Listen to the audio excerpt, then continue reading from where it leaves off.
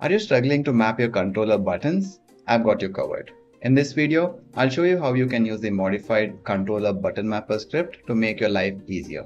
So let's get started. Alright, so here I have my Unity project open, which has been set up with the latest MetaXR Interaction SDK version 64, and it has been set up with all the player settings. You can also download this starter project from the link provided in the description below. You'll also find another link for the script called controller mapper. Go ahead and download that and import it into Unity. Now, before we begin, you should know that there are three different ways in which you can map your inputs while you're using the Meta SDK. First is by using virtual mapping, access as combined controllers.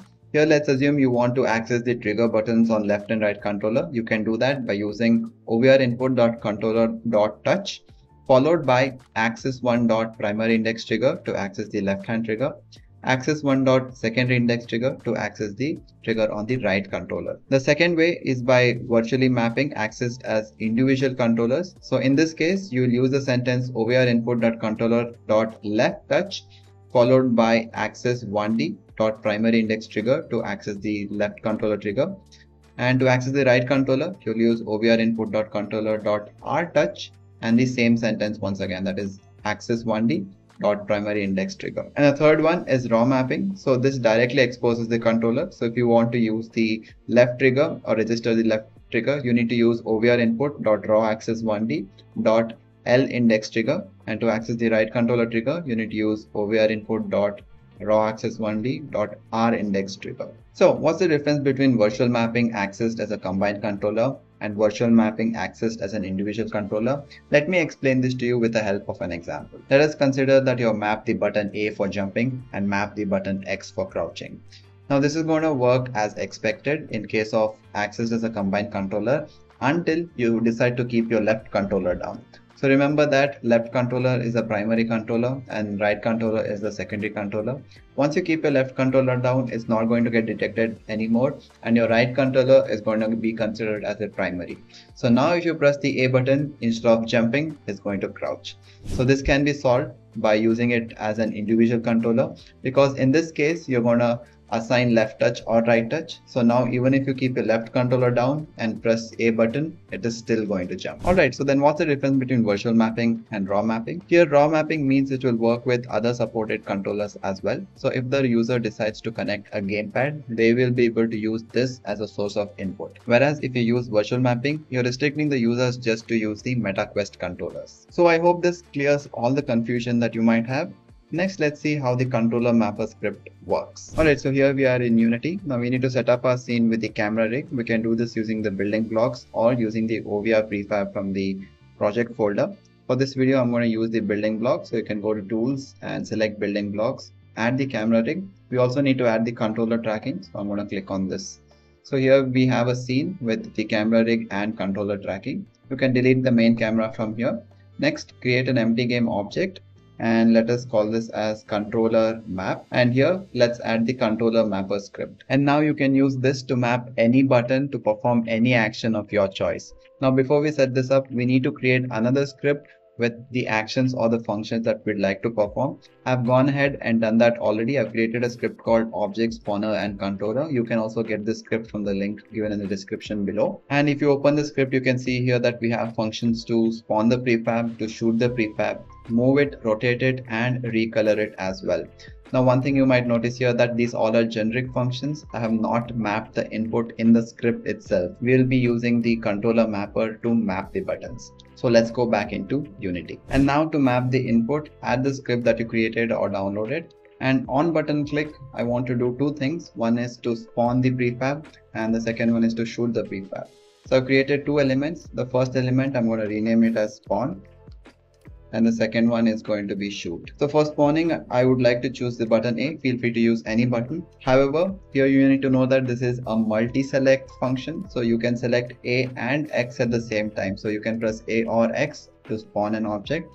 But I'd just like to keep it at A. So I'm going to uncheck this. However, you can select different buttons to perform the same action.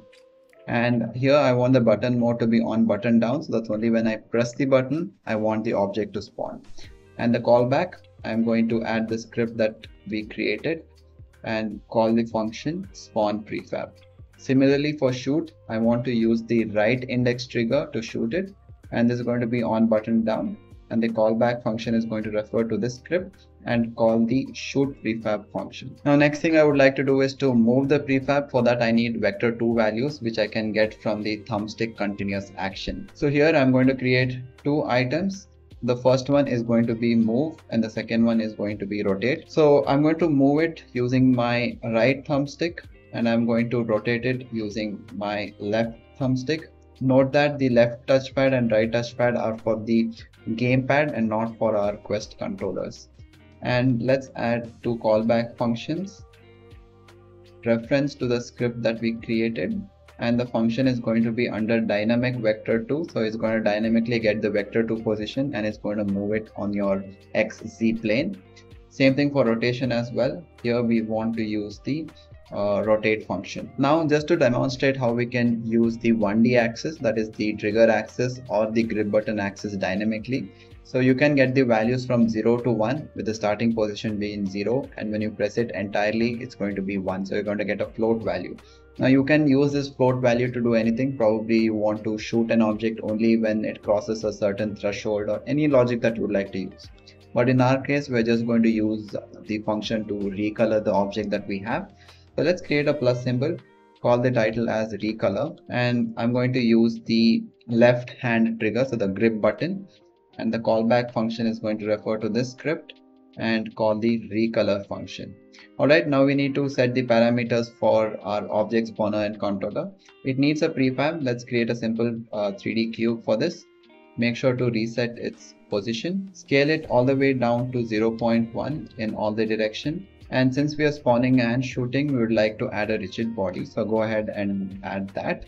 Here, check is kinematic for now because once you spawn it it's going to get attached to some point. I'm going to choose my right controller as the attach point. And when you move around it has to move along with it. If you have gravity and is kinematics checked then it's just going to fall down which we do not want. And then he, we want the uh, collision detection to be continuous. Now go ahead and add it to your prefab folder. If you don't have one you can create it. Remove it from your hierarchy. Select it and let's add this to our prefab now, like I said, the attach point is going to be my right controller. So I'm going to select it, drag and drop it in here.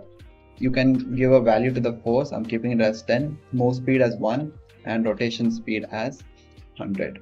Alright, so we can save the script. Now you can test this from the simulator or you can connect uh, your headset using link or airlink i've connected using link right now. And then we can press play and test it out. All right so if i press the a button you can see that the cube has spawned. I can use my grip button to change its color. And now if i press the trigger button i can shoot it.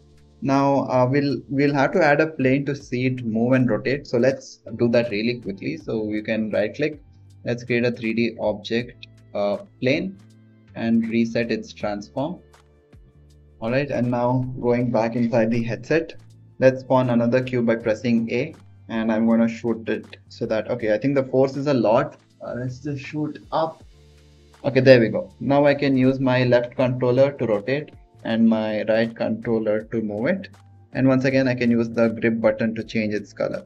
So i can change its color and then when i spawn the next object the color stays and now i can shoot the next one which is pretty cool. Now the main advantage of this script is that it is not hard coded. Somewhere during the development, if you feel like you'll have to change the buttons, you can do it easily. So let's say suppose you want to spawn it not using A but B, you can just do this and uh, and it's as simple as that. Alright, so that's it for this video. If you found this video to be helpful, I'd highly appreciate it if you can leave a like and subscribe and I will see you in the next one.